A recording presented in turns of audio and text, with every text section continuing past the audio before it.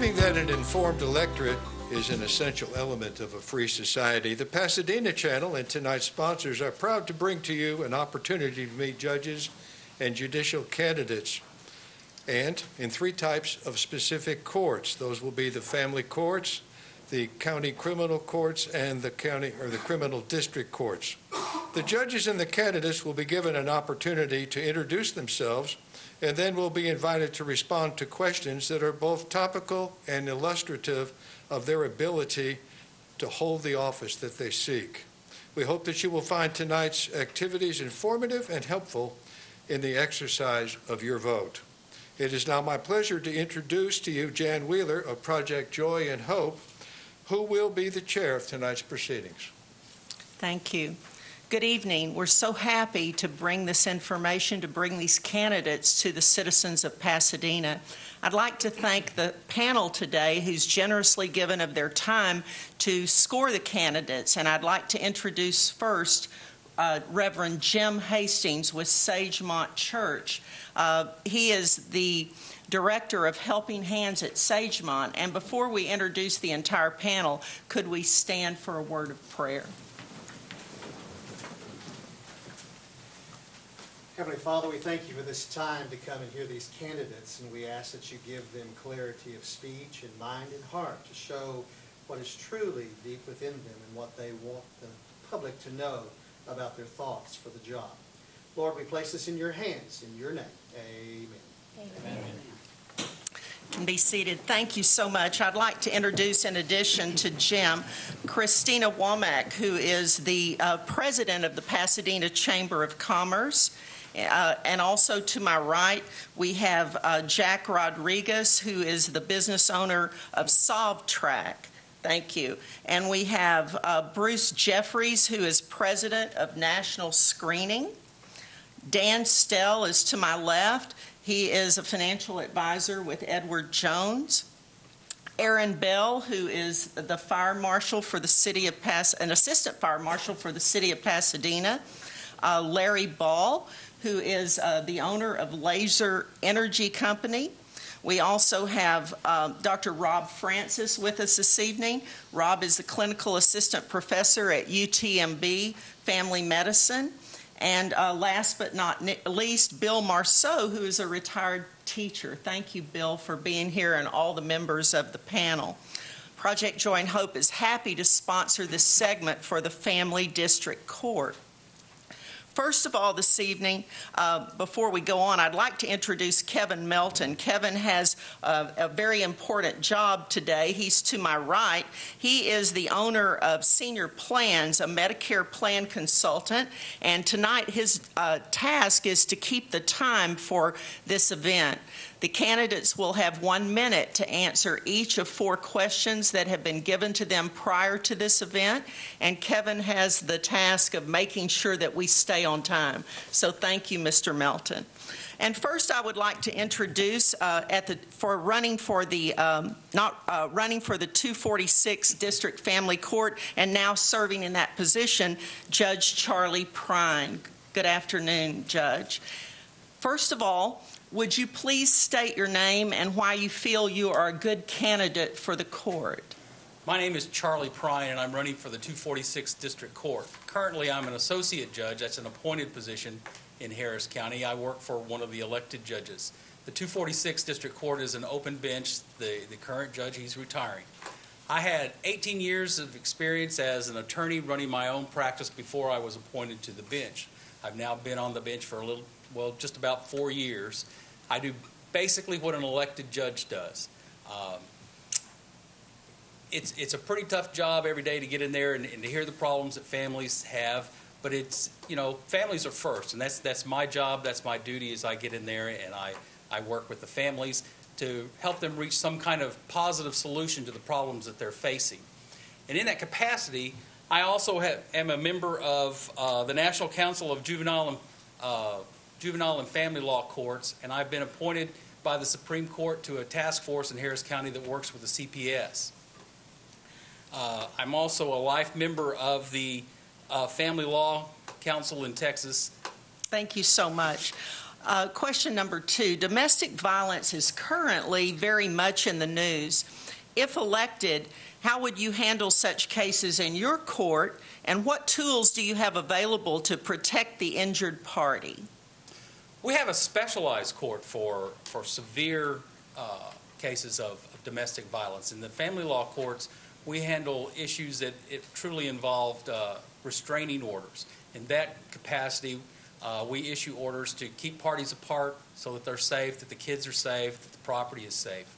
Uh, and I think that's recognized by the members of the Pasadena Bar and the job that I've done because they endorsed me as, as to be judge in, in the 246 uh, it's an important job to, to make sure that people are safe. And if, if they're not, then we can refer them to the, to the specialty court. And I think you'll hear from the candidates in that court a little bit later. But restraining orders are very, very important.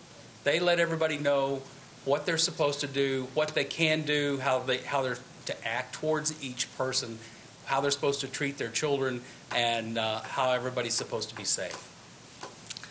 Thank you, Judge. Could you please state a procedure or policy that you have or a plan to introduce into your court, if elected, that you feel has or will result in greater effectiveness and/or efficiency in your court? Yes. Uh, when people come to family court, they need relief and they need it as quickly as possible. Uh, cases shouldn't linger on the docket for any amount of time if at all possible.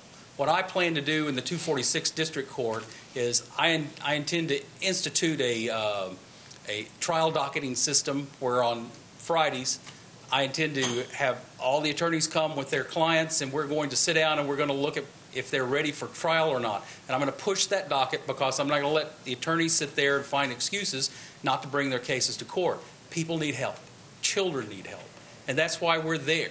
I need everybody needs to have an opportunity to get in front of the judge tell what the problem is, put their evidence on, and get a resolution.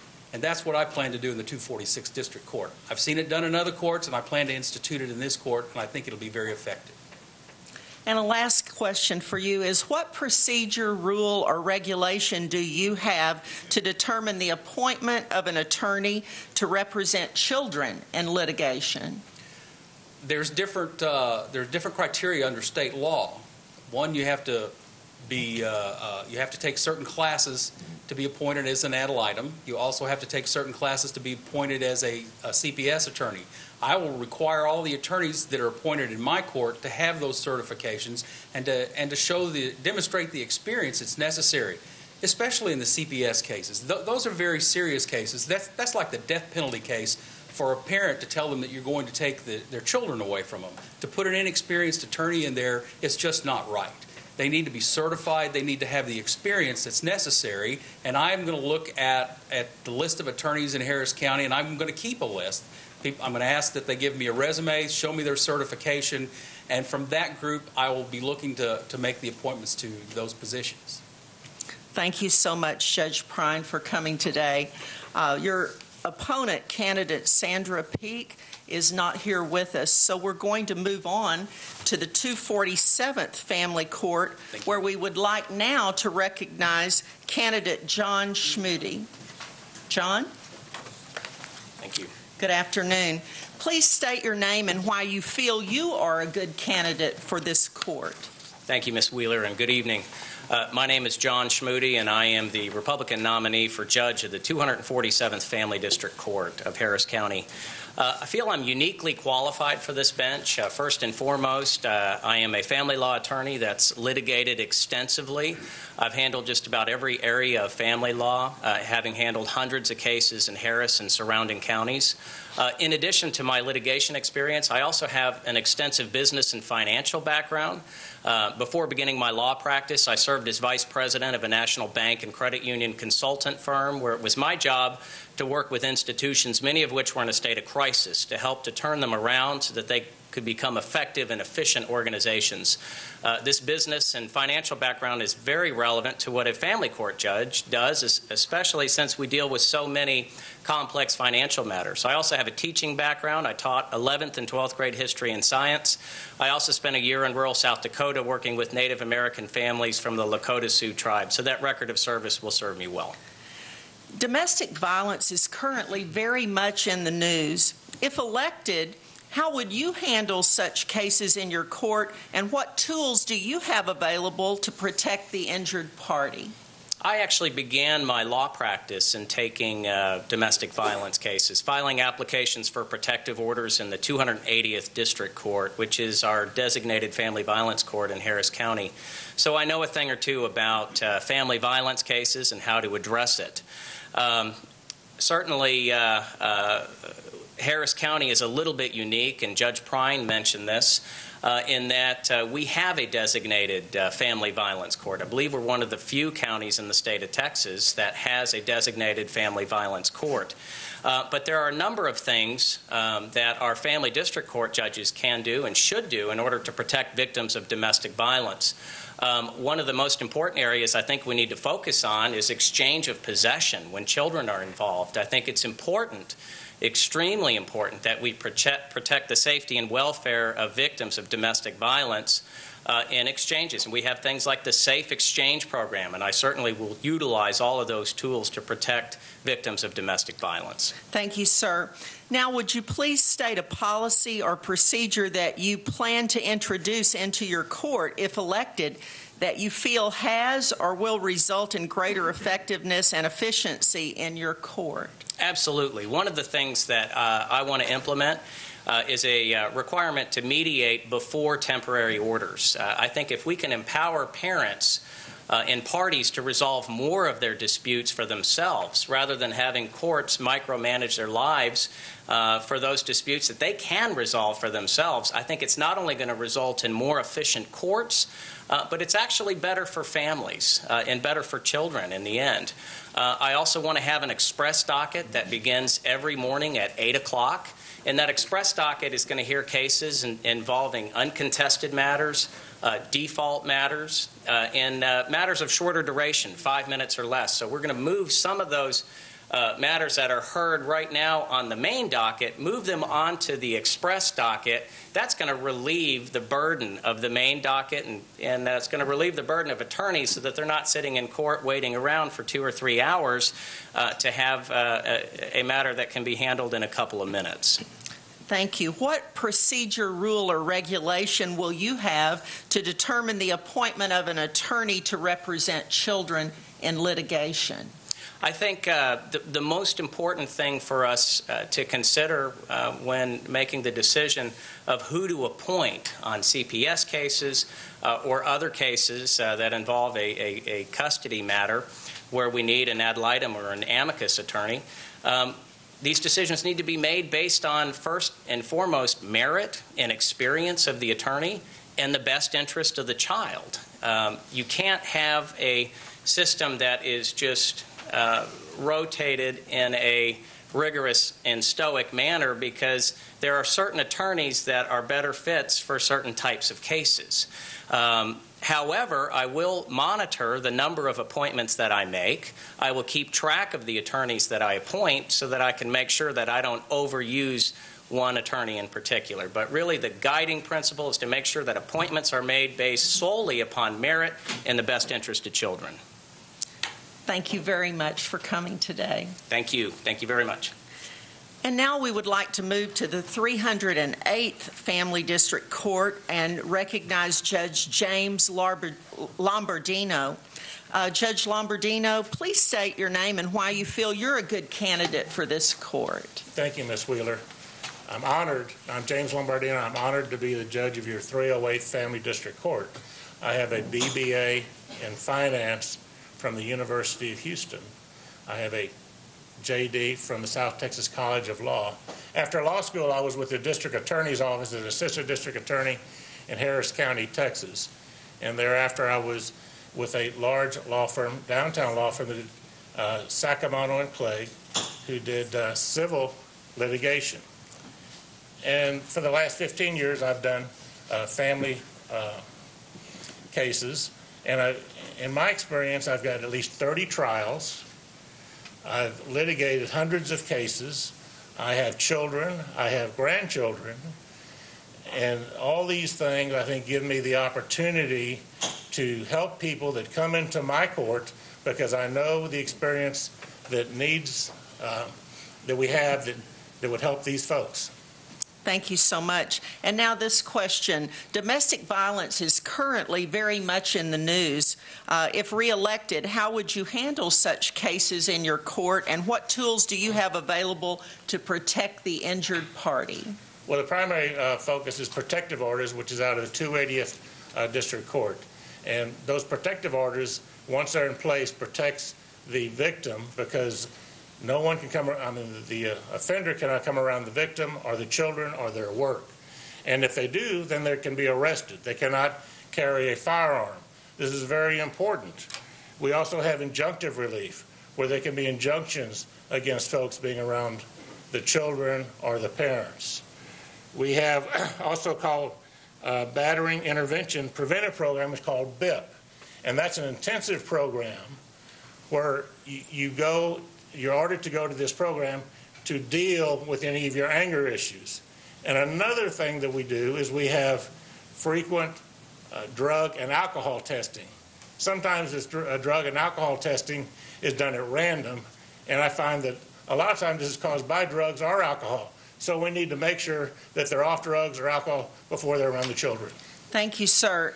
And please state a policy or procedure that you have or plan to introduce into your court if reelected that you feel has or will result in greater effectiveness and or efficiency in your court. Well, one of the things that we've implemented in our court is all our staff is bilingual.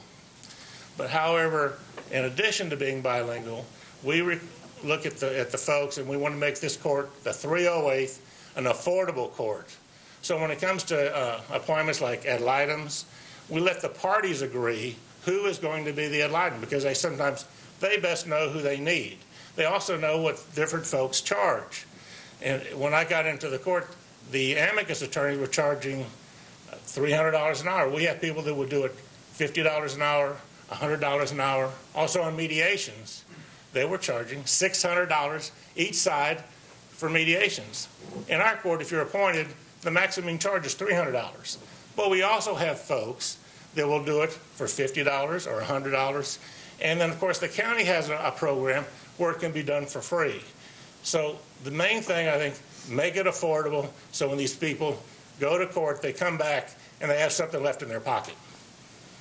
What procedure, rule, or regulation do you have to determine the appointment of an attorney to represent children in litigation? Again, first thing we do is if, if it's a private case, we look for an agreement of the parties. If the attorneys know somebody that they think would be appropriate in this case, then we would appoint that person. If not, we look at other factors. How are they proper for this case? We look at the cultural issues. We look at the language issues. You know, if somebody is going to be Hispanic or they're going to be Middle East, we want to get folks in there that can deal with those type of things because those things are important. And sometimes even just a, a language problem will be a problem in trying to get a case settled. Um, the ability of the attorneys.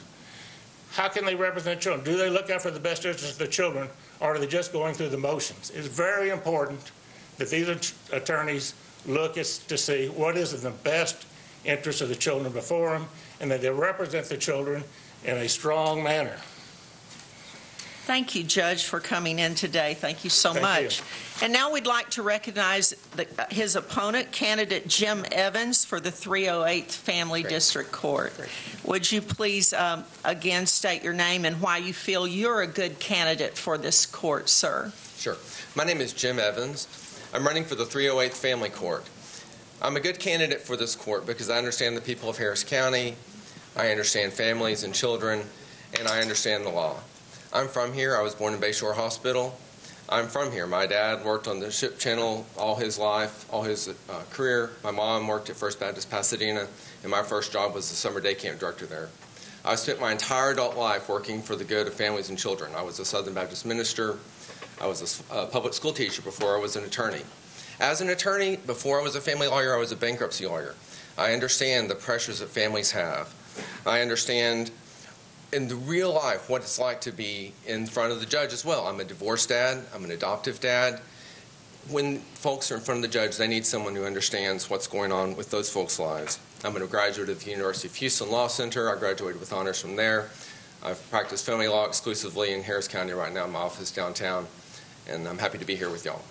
Thank you, sir. And domestic violence is currently very much in the news. If elected, how would you handle such cases in your court, and what tools do you have available to protect the injured party? Sure. And all of the candidates and judges have mentioned that we have a specialized domestic violence court in Harris County, which is unusual. The 280th Court, and those judges are here with us tonight. The system that we have allows people to get a protective order or ask for a protective order from that court. If that is granted, there are some consequences that a family judge is going to have to follow, and that has been laid out very carefully by the Texas legislature. If I'm elected, I'm going to follow the law as laid out by the Texas legislature. I'm also interested in the best interests of children and in fairness for the parties. These are the ultimate concerns. Someone who is going to look and make sure that children are protected, the victim is protected, and that the person who has perpetrated the violence is able to get as much help as possible. And that's what, if I'm elected, I'll be doing in the 308. Thank you. Now, would you please state a policy or procedure that you plan to introduce into your court if elected that you feel will result in greater effectiveness or efficiency in your court? Sure. Right now, the docket call, as we call it, in all of the family courts is kind of a cattle call. And it's not the fault of anybody, it's just the way that it is. And at 9 o'clock in the morning, in all of the family courts, sometimes dozens and up to 100 cases are called. And what I want to do is a couple of times a month have a docket that is available for people to sign up on, and you have to tell us in advance how much time you want five minutes, 10 minutes, or 15 minutes. And you can have your, your case heard, and you don't have to show up at 9 o'clock, you can show up at 2.10. But if you sign up for five minutes at 2.10, you get five minutes of the court's time.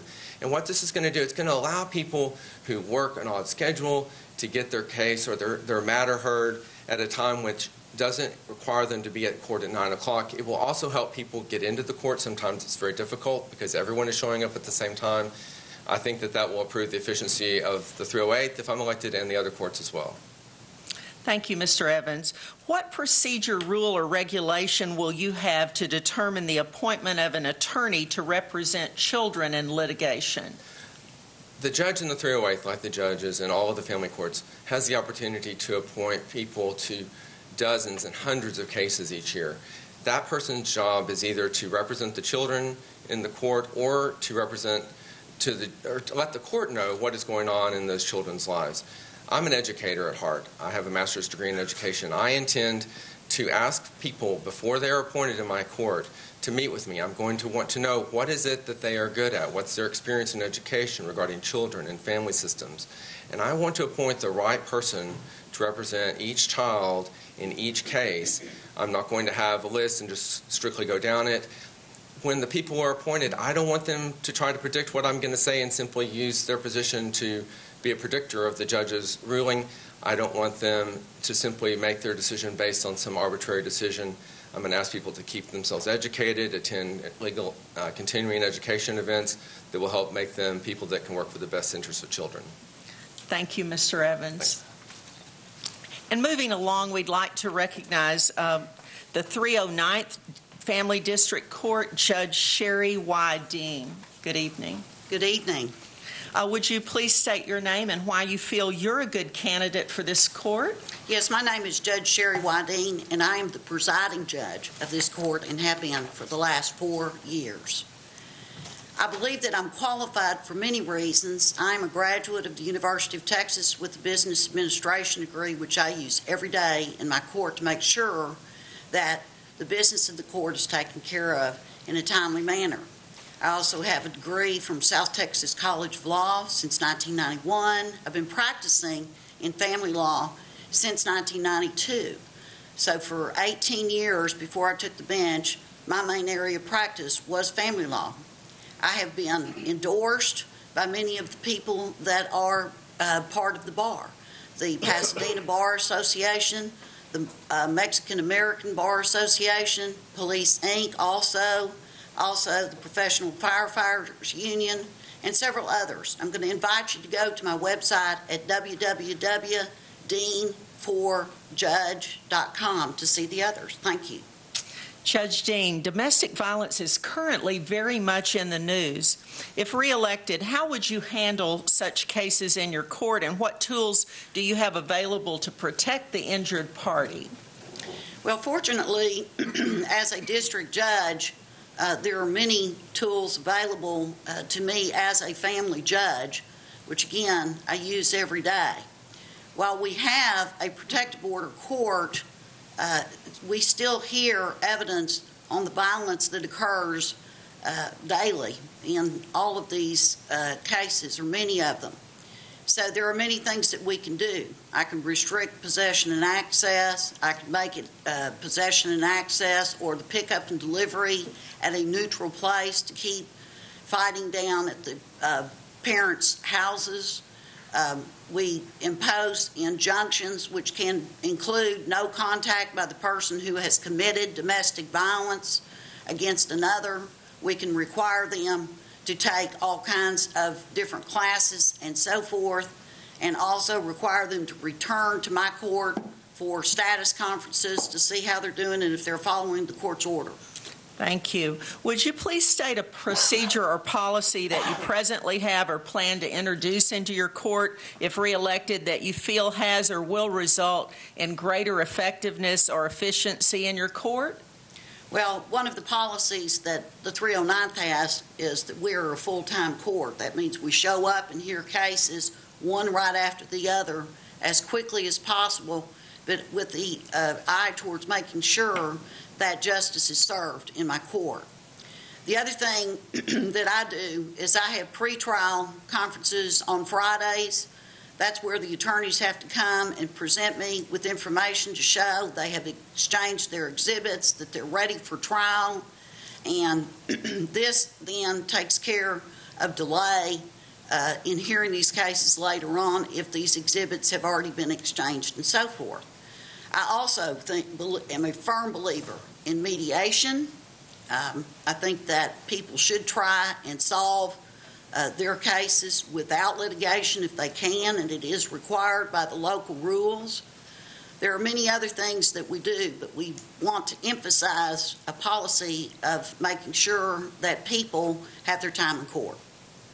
Thank you. And last of all, what procedure, rule, or regulation do you have to determine the appointment of an attorney to represent children in litigation? I require, um, first and foremost, that the attorney who is asking for appointment in my court come by and have a personal conversation with myself or my associate judge. This is very important so that we can actually face to face look at these people, measure their sincerity about wanting to do this work. Uh, they must be uh, certified. They've got a class that they have got to take and bring the certification to us. And then, once these folks are appointed on these cases, we monitor them, of course, and make sure that they are exercising the due diligence that they are required to do by statute. We do not appoint new and, and inexperienced uh, attorneys uh, to termination cases without first showing us on some of the more minor things that they can indeed uh, do the work. Thank you, Judge Dean. And now we'd like to re- recognize candidate Kathleen Vossler for the 309th Family District Court. Welcome. Thank Please you. state your name and why you feel that you are a good candidate for this court. Thank you. My name is Kathy Vossler. I'm a lifelong Houstonian. Went to school at the University of Houston, earned my undergraduate degree as a single mom of three children, went on to University of Houston Law School, earned my uh, law degree as a single parent of three children, gained honors in both. I was licensed on November 7th, on 1997. On the day that I got licensed and sworn in, I opened my own family law practice, and I've been practicing family law ever since.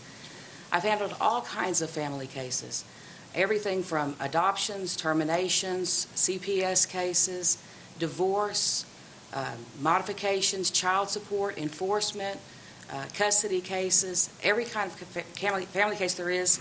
In addition to that, I've worked successfully with lawyers in other areas of law, um, whether it be criminal law, immigration law, or uh, guardianship law, probate law, and uh, bankruptcy law, and, and, and the successful completion of cases.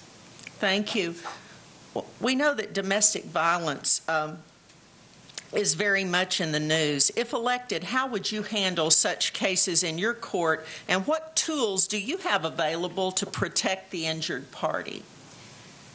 One of the tools that I have is my experience. I have handled family, uh, domestic violence cases in conjunction with my family law practice uh, for my entire career. I've represented the victims of domestic violence and the perpetrators of domestic violence, the children of domestic violence, and people that are wrongfully accused of domestic violence. As a matter of fact, four years ago, I ran for that court. I, um, there are a number of tools that are available. Among those, some of them have been mentioned already today. But among those are the, the ability to uh, monitor the uh, exchange of the children in a safe place, at a police station or at a public place, to um, order educational classes for the parties so that they can go and learn about domestic violence and stop the pattern, to protect the children, to make sure that the uh, limit the perpetrators' access to their to them at where they're most vulnerable at their school, and um, also to protect the victims in uh, Uh, according to the law. Thank you. Now, would you please state a procedure or policy that you plan to introduce into your court if elected that you feel has or, or will result in greater effectiveness and efficiency in your court? Yes. One of the things that I want to do, as you as you all know in Pasadena and Deer Park area, it's when when court starts at, at nine o'clock in the morning, it's not always available for people to go uh, to court because the, the shift work. We've got police officers, nurses, um, all the ship channel workers. They work different shifts and different hours. The courts are available from eight in the morning until five in the afternoon, and my court will be available during those hours. It's often that people will come to court at 8 o'clock in the morning for a, an uncontested matter, to do a prove-up, to do an agreement, um, and, but the courts is not available at other times. My court will be available to those people that need to use it at different hours of the day that are more, con- more convenient for their work schedule or their school schedule or their daycare schedule, so that they don't have to lose time um, away from those things and they can get their business taken care of. And lastly, what procedure, rule, or regulation will you have to determine the appoint, the appointment of an attorney to represent children in litigation? I will, I will appoint attorneys that are qualified. I will appoint attorneys that are doing their job. I will appoint attorneys that are, that have evidenced a uh, strong um, capacity to do the job that they're appointed to do and that are doing it honestly and thoroughly. I won't appoint attorneys that are donating to a campaign, and I won't uh, prejudice anyone that's donating to someone else's campaign. I will appoint attorneys that are doing, uh, that have the reputation and do the job, and I'll follow up on that reputation. Sometimes what happens, we have attorneys that get appointed to a bunch of cases, and they get appointed so often that they can't handle it all. I'll make sure and monitor that, keep an eye on it. When parties do agree to an attorney of, the, of their own selection, I will honor that and respect their wishes. When they um, can't agree, then I will appoint someone that's qualified, given the particulars of their case, the nature of their case, the experience that would be uh, required in order to do a good job representing the children in that particular case. Thank you for coming in today. We appreciate that. Thank you all. And lastly, uh, this evening for the Family District Courts, we would like to go to the 280th District Court and recognize Judge Lynn Bradshaw Hull. Good evening. Good evening. Would you state your name and why you feel you are a good candidate in this court? My name is Lynn Bradshaw Hull. I am the first elected judge to the 280th Domestic Violence Court, and I'm seeking reelection.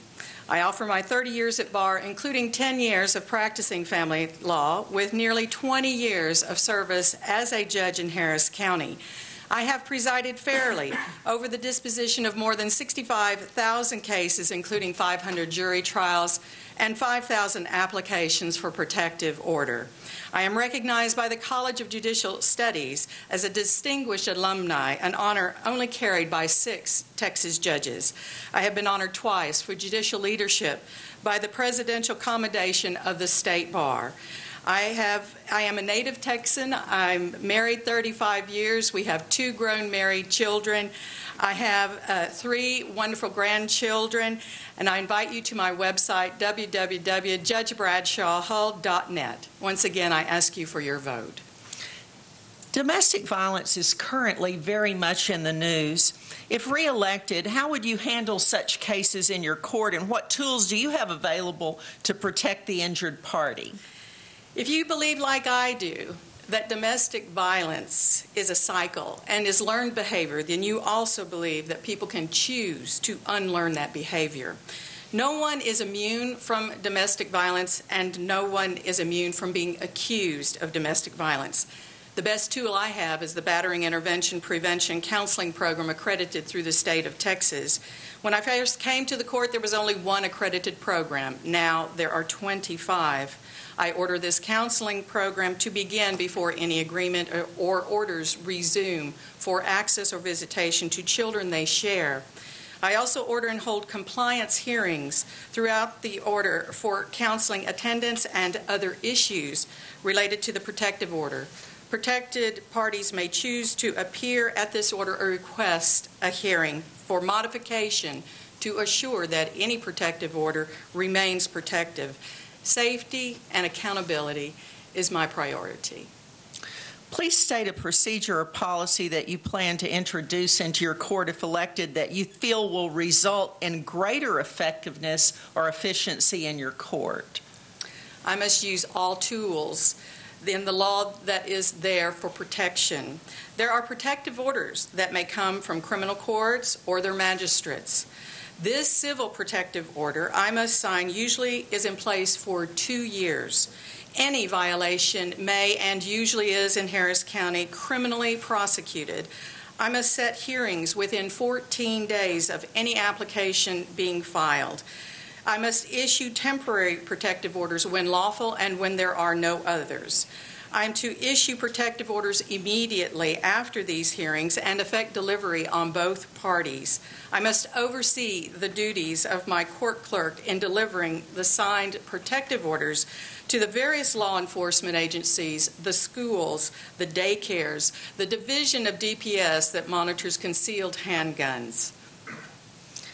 What procedure, rule, or regulation do you have in place to determine the appointment of an attorney to represent children in litigation?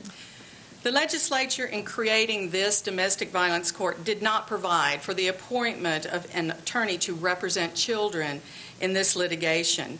No judge should impose any procedure, rule, regulation contrary to the mandate of the legislature or which could, in fact, create delay in these time sensitive proceedings. A U.S. Supreme Court justice once said, A timid judge, like a biased judge, is intrinsically a lawless judge. Administering this court as a seasoned judge is challenging. I enjoy the reputation of being a fine jurist. I have consistently been recognized in the bar polls and, in fact, was the winner of the Judicial Qualifications Poll of the Houston Bar Association. I pledge to you once again that I will honor the legislature's mandate to promote an informed, consistent response to cases involving domestic violence in an effort to lessen misdemeanors, felonies, and, God forbid, fatalities the result of domestic violence. Thank you. And now we would like to recognize candidate Barbara J. Stalder, who's running for the 280th Family District Court. Good afternoon. Would you please state your name and why you feel that you are a good candidate for this court? Yes, and thank you very much for inviting me. I appreciate the opportunity to speak to you and all of the citizens of Pasadena. My name is Barbara Stalder. I am running for the 280th Judicial District Court. And the main reason I'm running is because people's lives are at stake. And I believe, with my experience over 20 years working with victims of domestic violence, um, and 12 years of, of that as a lawyer, that I have the right experience, the right education, and the right background to make Harris County's domestic violence court a model protective order court. We are the only protective order court in this state. And I believe through my background in working at Lone Star Legal Aid with poverty stricken individuals, in working at aid to victims of domestic abuse, and now teaching at the University of Houston Law Center in their civil clinic and teaching family law and domestic violence, that I have the right experience to be able to uh, work with the citizens of Harris County in this court. Domestic violence is very much in the news. If elected, how would you handle these cases, and what tools do you have available to protect the injured party? Yes, thank you. Unfortunately, domestic violence uh, is in the news. Um, I'm also grateful that it's in the news because I think what it does is it brings awareness to this issue that's long been uh, swept under the rug.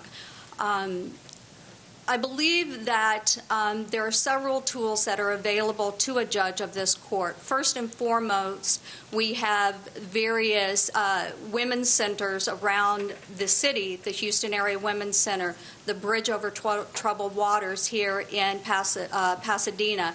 We also have Humble Family Time. We have those tools to be able to reach out, to develop relationships, to v- develop partnerships, and be able to pull together those resources to try to find a way to educate our young people, to educate our children, and to educate both men and women on what is appropriate behavior. And I believe that those tools is what is going to stop this cycle of violence. Thank you. Would you please state a policy or procedure that you plan to introduce in your court if elected that you feel will result in greater effectiveness and efficiency in this court? Thank you. Yes, I think technology, uh, in some ways, is a double edged sword. Sometimes it's great when it works, and it's not so great when it doesn't work. However, one of the tools that, that the protective order court can have at its disposal is technology. We can uh, use Court Call, which is a, uh, a special conferencing service that is free to the judges. The litigants do pay a small fee, but we also have Skype and FaceTime available. Most everybody we know has a smartphone, a tablet, a desktop computer, a laptop, and we can help uh, make those resources um, available to them through some of the other entities in, in uh, Harris County. And I think by utilizing technology, we can keep victims safer. We can have attorneys who are in other counties be able to call in and use those services without having to drive a mile uh, or excuse me, an hour, uh, being an hour away. And I think technology uh, would serve would serve a great purpose. And last of all, what procedure, rule, or regulation will you have to determine the appointment of an attorney to represent children in litigation? Uh, Judge Bradshaw Hull is correct that the legislature didn't put, uh, specifically uh, allow for the appointment of a attorney ad litem or an amicus attorney, which is sort of like a guardian ad litem and an attorney that uh, works in custody cases. However, the legislature didn't specifically prohibit that. The judge does have at his or her disposal a discretionary appointment process. And I believe that as the judge of the 280th District Court, there may be some times when I may want to utilize that. And if I do, I will choose experienced lawyers who understand the dynamics of domestic violence, who understand that time is of the essence. In addition, we have two very great law schools that have programs involving domestic violence. We have South Texas College of Law and U of H Law Center. And those services are for free, and those folks do a great job, and I would definitely utilize those services. Thank you so much for coming in today. Thank you. That concludes uh, the candidates for the Family District Court. We'd like to thank our participants who gave of their time today to score these candidates. We appreciate that. Thank you very much, and thanks to the citizens of Pasadena.